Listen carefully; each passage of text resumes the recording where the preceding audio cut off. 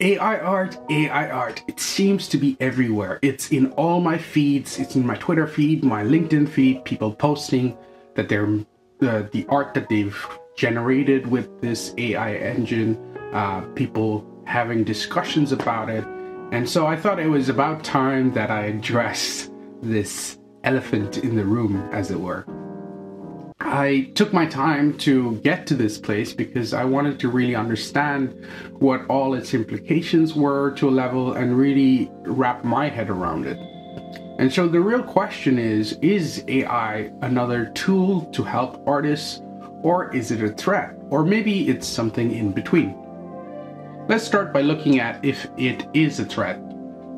When we look over time and history, we'll find that every time there's an evolution of technology, there is this aggressive moment of pushback from either side. You know, uh, if you look at the evolution of the camera versus the portrait artist, portraits started going out of commission because more people wanted to get a photograph taken rather than the portrait. But over time, there was a return or a resurgence of portrait art commissions because there is something that the portrait captures or the, the painted portrait captures that a photographer can't. The same happened in the 90s with uh, the evolution of digital art versus traditional art. Initially, the thoughts were digital art isn't art, uh, it's this cold machine uh, creating stuff, but the reality is artists still had to draw, they had to do the hard work of creating something. And yes, now it's recognized as a normal part of um, the art world.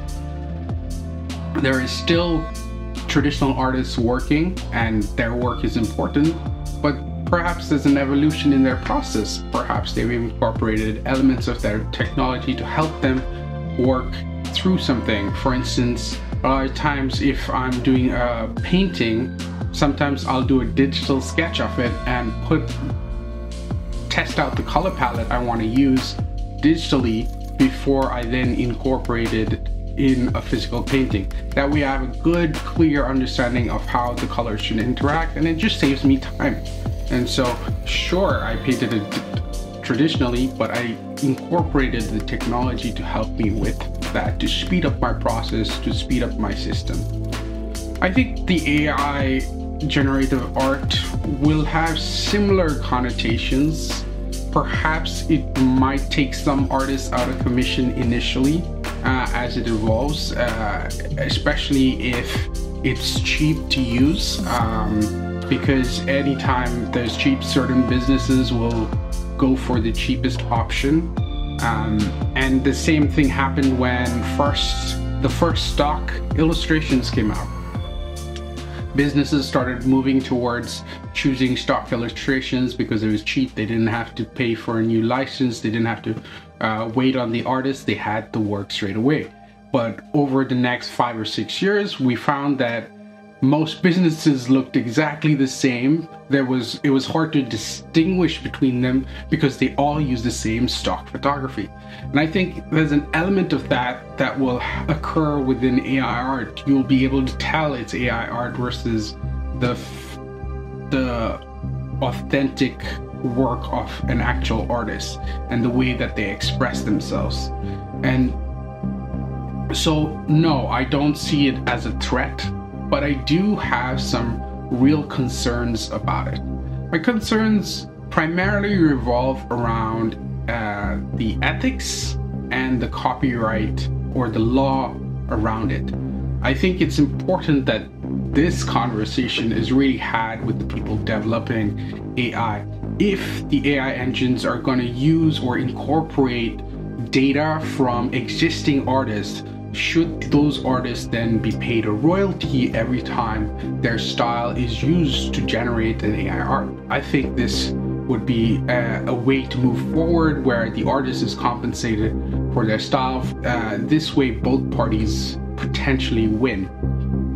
The other thing is the ethics of it. You know, um, is it okay for the AI to use somebody's art and then you call it your own or you put your name to it when in reality it's a ripoff of an existing artist that is alive and thriving.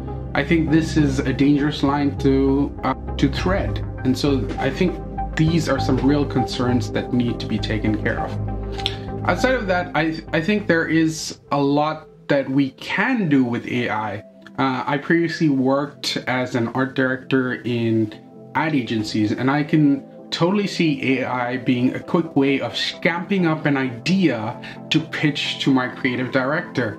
This way I could quickly generate um, the visual language and then perhaps use that information to hire an artist to produce that uh, or something along those lines. It'll be a great way to clarify your visual thoughts around an idea.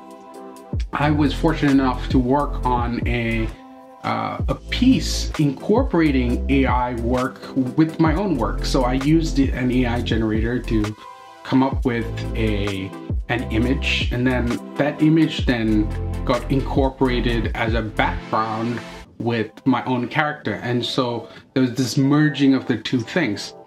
So i think ai will be a useful tool it's just a question of understanding how it will be used. And the more we as artists and creators use it, the better we will be in, able to inform the people developing it how best it can serve our community. I don't think there will ever be a time where AI will fully uh, outlive the artist. I don't think it's going to be the end of art because Every time technology has evolved, humans have found a way to adapt and bring their own um, creative outlook to it.